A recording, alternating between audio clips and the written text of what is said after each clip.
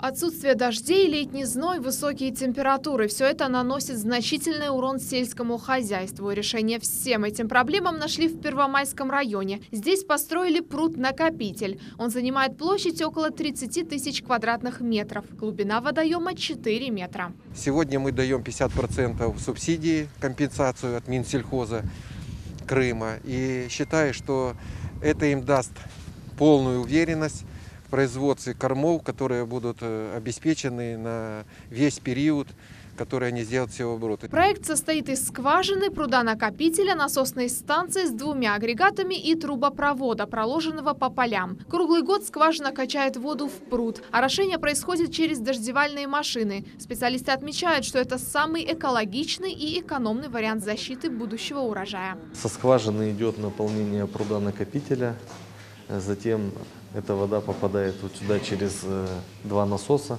Это один рабочий, один резервный. Далее она идет по системе трубопроводов на поле и подключается к дождевальным машинам. Дождевальные машины ходят по полю заданной траектории и происходит орошение.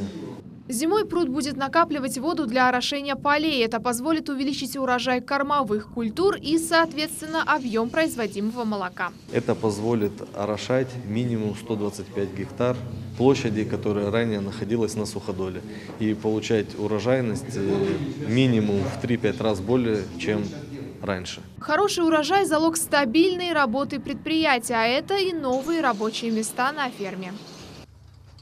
А это, собственно, виновники торжества. На предприятии 7 тысяч голов скота, из них около 3 тысяч дойные коровы. В сутки они дают 85 тонн молока. Весь процесс получения молока здесь автоматизирован, а у входа на предприятие установлен молочный автомат. Местный житель Денис Глодный давно оценил его удобство. Ну, мне очень нравится покупать здесь молоко, и дешевле, чем в магазине, и вкуснее.